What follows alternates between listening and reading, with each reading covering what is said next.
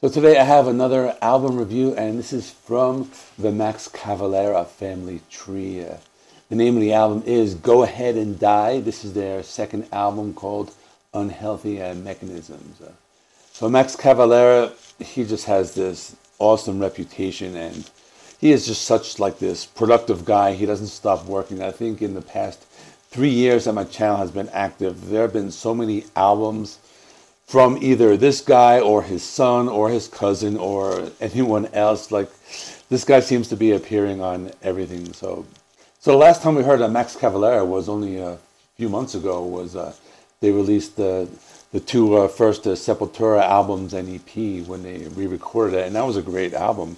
They're actually two great albums. But uh, here's another one with Max. So it's talk about Go Ahead and Die. This one's a little heavier. It's Max Cavalera. It's his son, uh, Igor Amadeus Cavalera. And they have a new uh, metal drummer. His name is Johnny Valles. And uh, just music is just very heavy.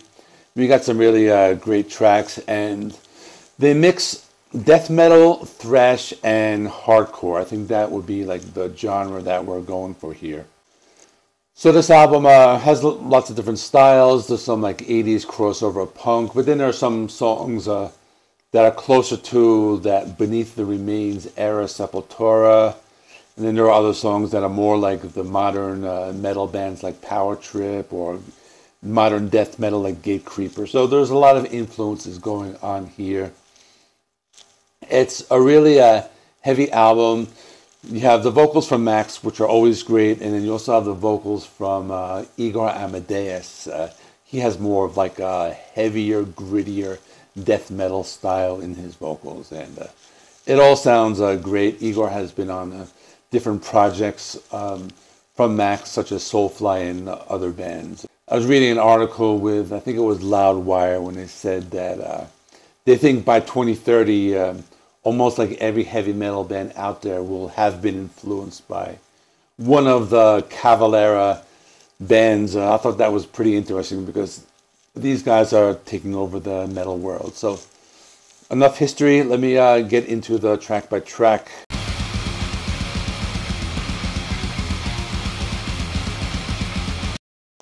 Opening track, Desert Carnage. Uh, this song is very intense. It starts with blast beats and aggressive vocals. Uh, kicks off the album with a bang. They play a lot of death metal style vocals, and the song takes lots of twists and turns. Some parts are slower, some parts are more feeling, other are are more fast and intense. Towards the end, they have a slow part with the bass guitar. There's a lot going on in just about four minutes.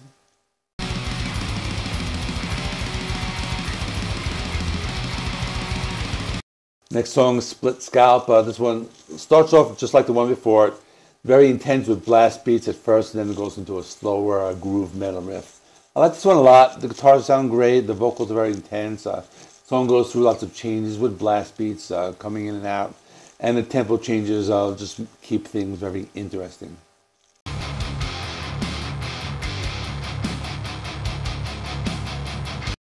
Next is Tumors. Uh, this is a great song. It has that old school thrash vibe with chugging guitars and memorable guitar riffs. Uh, this one has Max on vocals.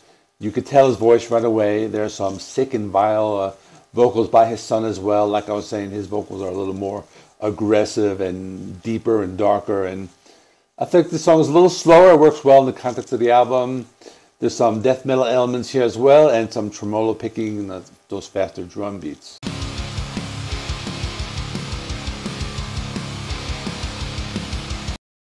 Drugo Cop is another song. It's uh, similar to the one right before. It's more of that old school thrash metal sound.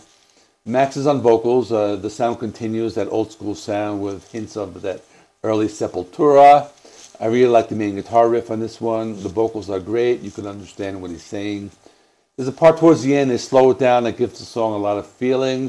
There's also some of those like police sirens that kind of like fills out the entire sound experience.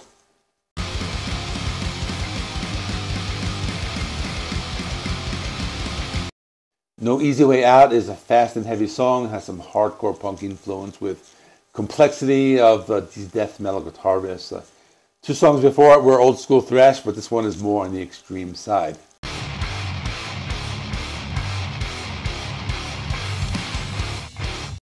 Next is MDA, which stands for Most Dangerous Animal. This one's pretty interesting.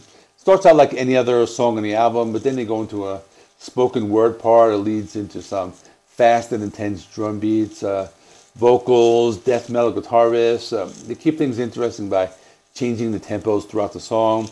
There are some slow parts to keep things interesting, and the last part of the song sounds like classic thrash.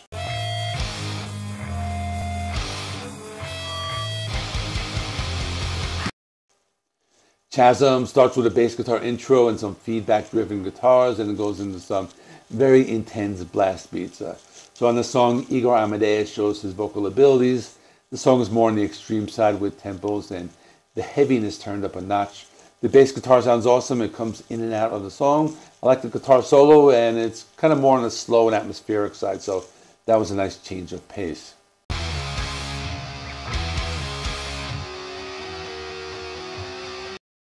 Next is Cyber Slavery. Um, this one has kind of a weird intro, but it sounds more like a hardcore punk song. Uh, Max does some really heavy vocals. The guitar playing is more straightforward. Just one of the cool bass guitar sound, and just overall the production is very good.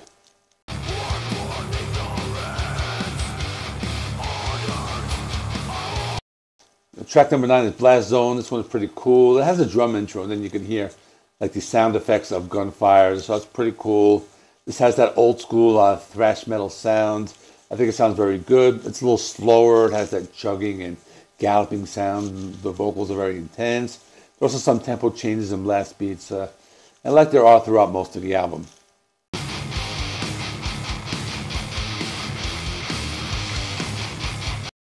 Last is uh, Unhealthy Mechanisms, the title track. Uh, this one has like sound bites with distorted voices, and you hear some weird stuff. And then it's more like an old school death metal uh, song, but they mix it with some of that like metallic hardcore.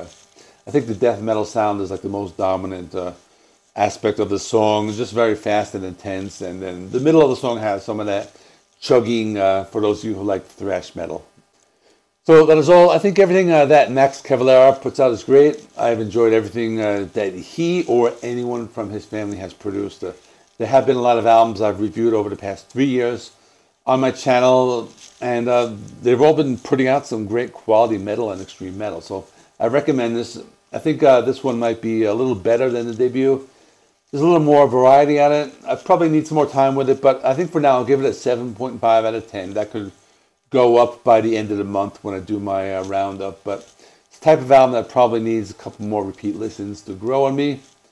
But with that being said, uh, check out my review right here. This is the first uh, album that I reviewed. I think it was two years ago when it came out. Uh, uh please uh, like this video. It helps me with the YouTube algorithm. Uh, please subscribe. I've been getting close to 2,000 subs. That last review of the Rolling Stones has really helped to boost my channel a lot.